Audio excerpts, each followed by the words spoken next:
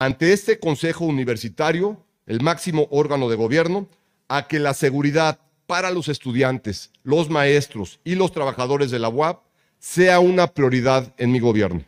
Atenderemos sus sentidas demandas de seguridad, de vialidades funcionales para los diferentes campus de la institución como CU1, CU2, el área de salud y el complejo universitario, así como los demás requerimientos que esta, nuestra universidad, le pida a nuestro gobierno, especialmente los nuevos accesos para Ciudad Universitaria 2.